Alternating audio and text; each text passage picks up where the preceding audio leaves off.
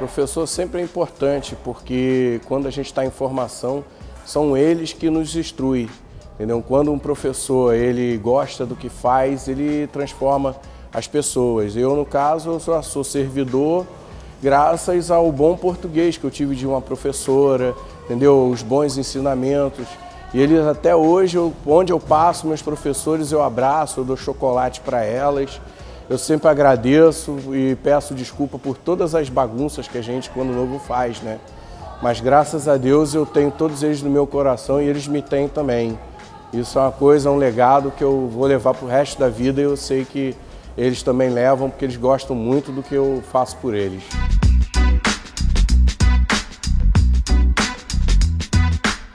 Eu respeito muito os professores.